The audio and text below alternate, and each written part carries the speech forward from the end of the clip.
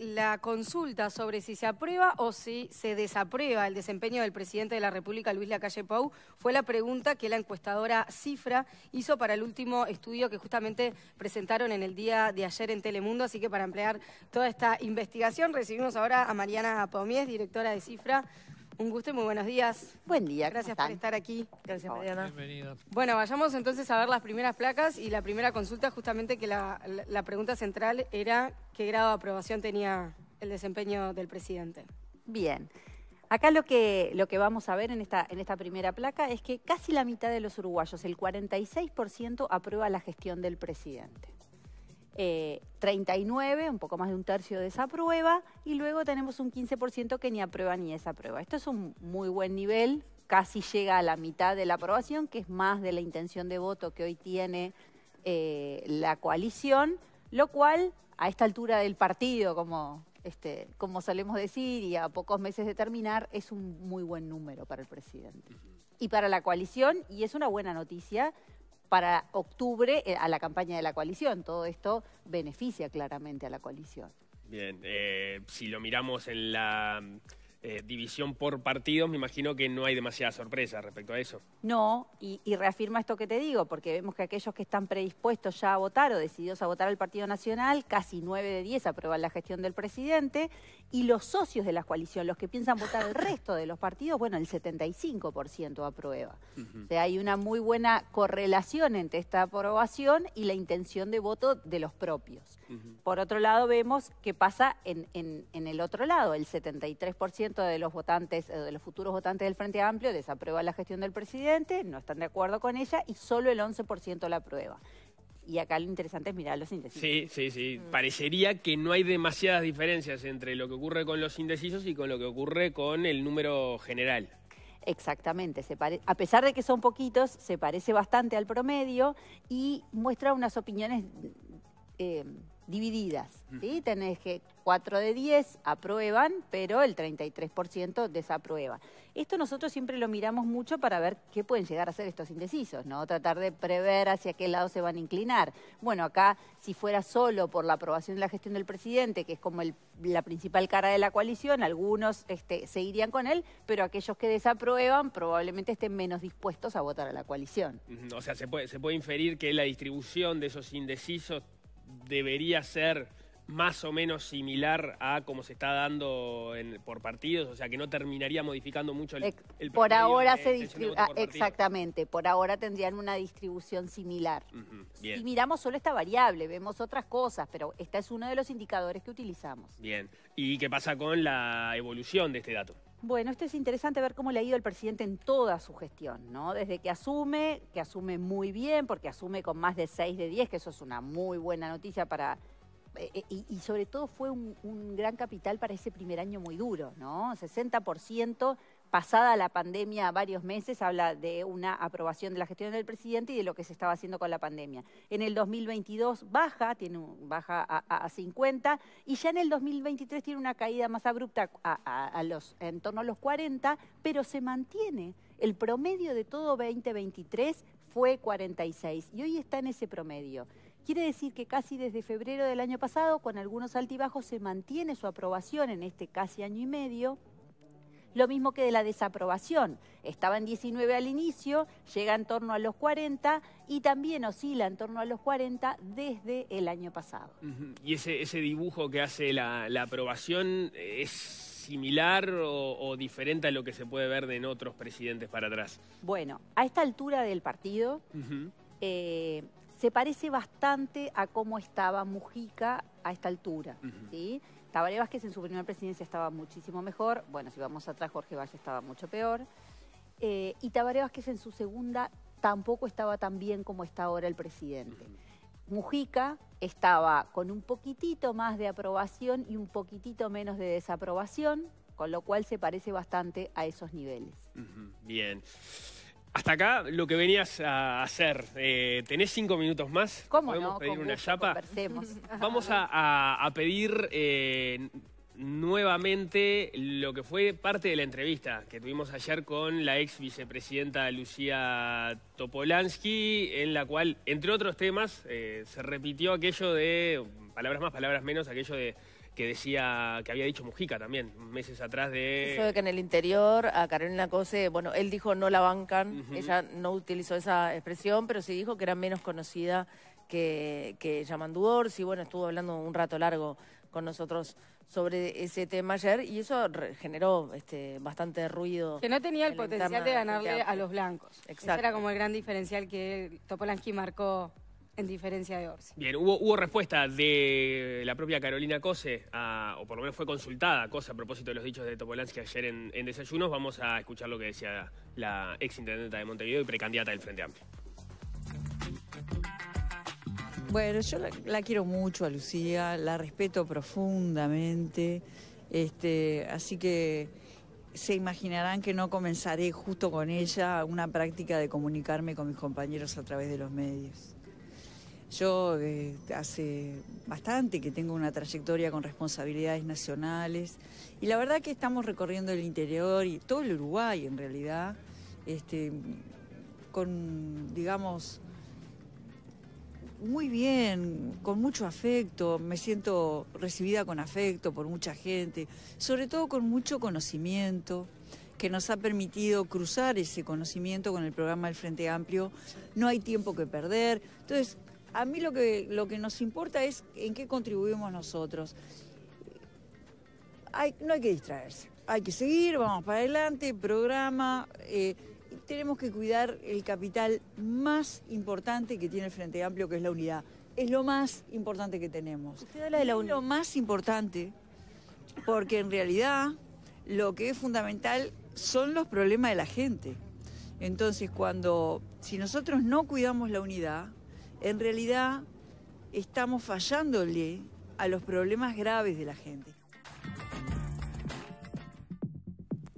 Bien, y por otra parte, dirigentes del Frente Amplio afines a la precandidatura de Carolina Cose también cuestionaron las declaraciones de Lucía Topolansky. Tras estos dichos, el senador Oscar Andrade citó una publicación en redes sociales que había realizado en febrero cuando eh, José Mujica había hecho las declaraciones que les comentábamos recién, ¿no? estas declaraciones del mismo tipo que las de Topolansky. En aquel momento el senador había escrito, no aprendemos más, qué fea enfermedad del sectarismo te hace apedrear el rancho propio. Si es Carolina, Yamandú, Andrés o Mario no es la clave, la fórmula es fraternidad y unidad para luchar por las causas. Andrade había citado esta publicación en su cuenta de Twitter y también escribió, tengan unión verdadera en cualquier tiempo que sea. Ahí vemos también esta caricatura en la que aparece Artigas y eh, el general Liber Sereñi hablando este, sobre justamente el tema de la unidad. Por otra parte, otro que también respondió fue Gonzalo Civila, el diputado del Partido Socialista, que también apoya la precandidatura de Carolina Cose. Civila señaló que no van a entrar en diálogo con compañeros a través de los medios, como es desayunos informales. En rueda de prensa, desde el Parlamento, Civila sostuvo que el Frente Amplio va a ganar las elecciones al tiempo que consideró que la fuerza política puede transformar el Uruguay.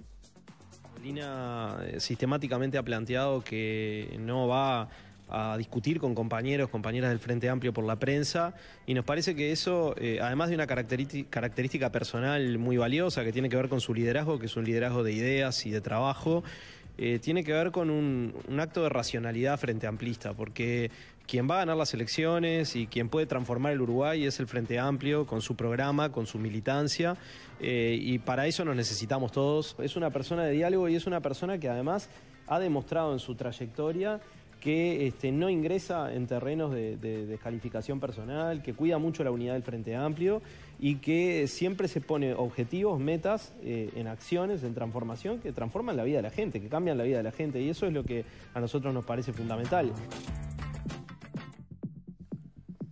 Y por si alguien se lo perdió, vamos a repasar lo que decía Topolansky en el día de ayer. Principal atributo es que Orsi puede ganarle a los blancos y Carolina no? Ese es uno, un punto. El, otro es la capacidad de diálogo y negociación, que para conducir cualquier gobierno y políticas de Estado es clave, y eso tiene una demostración en el, en el trabajo municipal de los, de los dos de los dos exintendentes. Que Orsi demostró tener y Carolina no, dice Y usted. bueno, eh, está todo el tema del saneamiento y otros fideicomisos que no salieron. Este, yo no, no me voy a poner a analizar en detalle, pero todos lo vimos esto. Yo no se lo preci- Los montevideanos no son, no son tontos, saben lo que pasó. Este, Y la veía Carolina con mayores dificultades de articular, de negociar. Claro, para negociar tenés que saber, primero tenés que ir con voluntad de negociar. Y para negociar te doy para que me des. Yo negocié 22 años en el Parlamento. Y algunas veces perdí. Pero la mayoría de las veces llegamos al objetivo. Pero me imagino que si Cose está mirando dice, bueno, perfecto, que vaya Orsi a negociar Negocié. al Parlamento para conseguir las mayorías legislativas y yo me quedo ejecutando en torre ejecutiva. No, no, no, no tiene nada que ver, porque a veces vos precisás el, vos precisás negociar en el ejecutivo y en el legislativo, con los empresarios, con el sistema social, con una cantidad de cosas. La negociación es permanente, es una actitud negociadora que tenés que tener. El tercer gobierno del frente se cerró mucho Sí. y no tuvo- negoció. Tuvo problemas. Sin embargo, Por eso por- fue una de las causas de la mira, mira, yo te voy a decir una A cosa. ver. Cuando el gobierno, cuando el Frente Amplio llegó al gobierno, no había fiscal de corte porque Peri Valdés había renunciado. Ingresamos sin fiscal de corte. Era un problema. Bueno, eh, yo creo que con- en ese momento, eh, de buena fe, Tabaré designó a Nino para negociar el fiscal de corte, pero Nino acababa de escindirse del Partido Nacional. Y yo creo que no fue una buena elección. Esa negociación no llegó a buen puerto y se hizo una encargatura. Las encargaturas no sirven. Bueno, hay, hay como dos grandes dimensiones, me parece, acá. Una más del orden de, de los estudios de opinión pública que nos dicen respecto a Orsi, Cose, su conocimiento en el interior, las posibilidades de ganar o no en un balotaje frente a Álvaro Delgado. Hay otra que es más quali, o más de- del orden del análisis politológico. Capaz empezamos primero por, por, por la opinión pública. Eh, de esto que fue surgiendo de la conversación con Topolansky, ¿qué cosas las tenés medidas, qué cosas no, qué cosas son ciertas, qué cosas no necesariamente? Bueno, ya desde la primera vez que, que Mujica lo salió a decir, este, ya me lo habían preguntado. A ver, eh, Carolina Cose y, y Yamandu Orsi son muy conocidos en el interior, en algunos lugares capaz que hasta Carolina más que Yamandú y en otros más Yamandú que Carolina. Eso de no, lo cono- no la conocen en el Pero, interior. es- no, Que no la bancan en el interior. eso sí, ahí Mujica fue más preciso con la palabra. Y yo no diría no la banca, me parece muy fuerte. Tiene mucho más nivel de simpatía Yamandu Orsi que Carolina Cose. Carolina Cose tiene más resistencias en el interior. Eso es cierto. Pero no falta de conocimiento. No falta de conocimiento, depende de las zonas. Pero Caro- eh, eh, Carolina Cose tiene, fue ministra, fue presidenta de Antel, tiene mucha visibilidad en el interior y ser la intendenta de Montevideo también le ha dado Bueno, pero eso es peor, digamos. ¿Peor en qué sentido? Claro, porque si uno no es conocido como candidato, se puede hacer conocer. Claro, tenés que- la chance de que te quieran. Que se Es- tome es la onda que no y, sea- sí, claro, es cierto. que la conozcan y no la quieran, es más complejo de Es cambiar. cierto que, que Orsi tiene más popularidad y que probablemente por su estilo tenga más llegadas. No- ahí no hay que ser, este, no hay que mirar solo las encuestas, sino lo, lo cualitativo. ¿no? Él tiene un estilo mucho más campechano que este, llega mucho más, eso es cierto. Ahora, yo creo que en todo esto hay que analizar que la Carolina Cose que estamos viendo ahora no sería la misma que nos enfrentaríamos eh, el primero de julio. O sea, yo mirando de esta mujer, que, es una mujer muy inteligente, se ve, eh, la, la respuesta que, que- da a, todo esto me pareció muy inteligente, ¿no? Ella sigue apelando a la unidad, sigue apelando a no vamos a discutir, eh, que después tengo algo también en que decir al respecto, y me parece que es la salida correcta.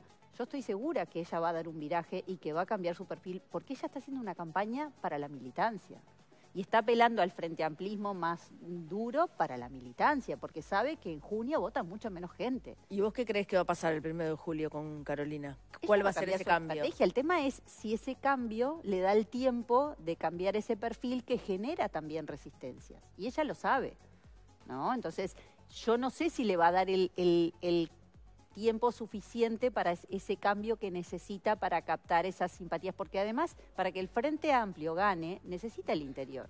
Y va a ser fundamental el trabajo del candidato en el interior. A ella le va a costar más, pero no pensemos que va a ser la misma Carolina Cose que estamos viendo. supongo. Digo, ella ya ha tenido un viraje en la campaña pasada, ya la hemos visto. Eh, voy a decir una, una bobada, abuenarse, ¿se acuerdan? Que algunos decían que no le salía muy bien, que sonaba como un poco impostado. Creo que ella ha aprendido y todos los candidatos son coacheados. A ver, no subestimemos la capacidad de los candidatos de hacer cambios y de hacer, este, porque hoy por hoy tienen equipos muy buenos. Ahora. perdón, pero la, la contracara de eso no es subestimar la opinión pública que un cambio eh, en unos meses pueda mover una construcción que se dio a lo largo de varios años? No, no, no, no. Tampoco es que la gente... A ver, son facetas distintas. Yo no creo que, si, si suena falso, no, pero no creo que, hará su esfuerzo. Creo que nos mostrará otra faceta de Carolina Cose.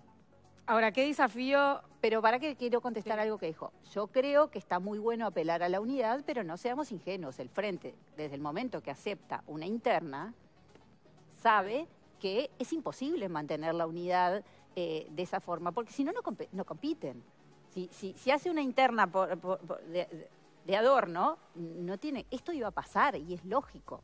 Y está bien que se apele a la unidad, pero está bien que desde los distintos sectores le peguen al otro, porque si no, no hay competencia, si no, ¿cómo lográs convencer a la gente de que tu candidato es el mejor? Sí, competir está claro que los códigos eh, son esos. Ahora, ¿con qué intensidad se le está pegando a Carolina si dos referentes muy significativos del Frente Amplio, como Mujica o ahora Topolansky, hablan de que no la bancan, que están hablando de características de carácter, de la personalidad de ella y también de características como gestora, como administradora, porque dice que es una mujer que aspira a la presidencia, pero que no sabe negociar, que no tiene eh, cualidades de liderazgo. Bueno, o sea, la están matando. Son las debilidades de Carolina Cose. Cuando ellos hablan, parece que están, pero están hablando con información que generaron a través de investigación. Son las debilidades de Carolina como eh, eh, Yamandú tiene sus otras debilidades, ¿sí? Y yo creo que acá, cuando Andrade sale a hablar de la unidad y, este, y está bien, pero también la gente vota personas. El programa del Frente Amplio va a ser el mismo, por más que Carolina Cose proponga ahora sus ideas, y, pero la gente, hay mucha gente que también vota personas. Entonces, es lógico también, la estrategia del MPP es dura. Sí, bueno, pero el MPP es duro en su estrategia. Y está jugando su estrategia porque cree que su candidato es el mejor para ganar.